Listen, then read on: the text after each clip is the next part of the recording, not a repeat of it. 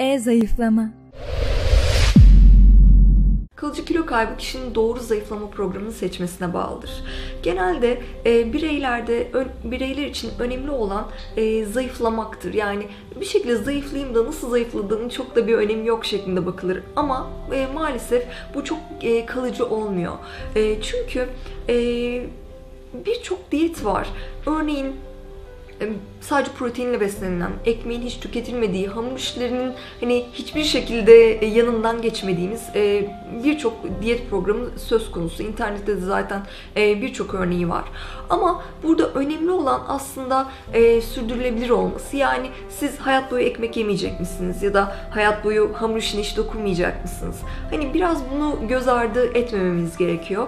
Her şeyden bizim genel sağlıklı beslenme programlarında önem verdiğimiz her şeyden tüketin ama makul miktarlarda. İşte bu tarz e, beslenme programları daha kılıcı oluyor.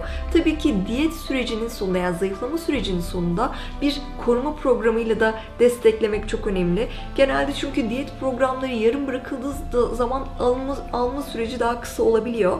E, o yüzden muhakkak burada benim önerim e, zayıflama programından sonra e, koruma programında geçmeleri gerekiyor.